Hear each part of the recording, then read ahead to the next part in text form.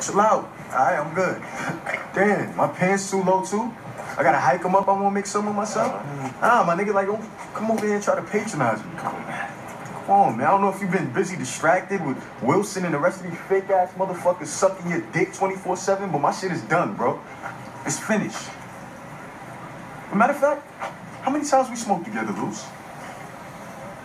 Real talk, how many times you come to my crib and blaze? But Wilson finds weed in my locker, and now I'm off the team. That's my scholarship. Gone.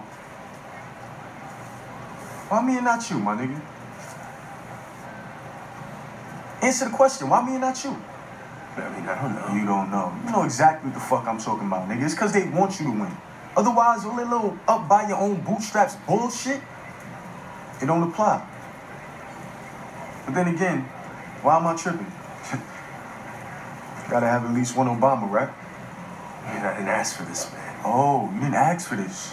Well, So you want to trade or something?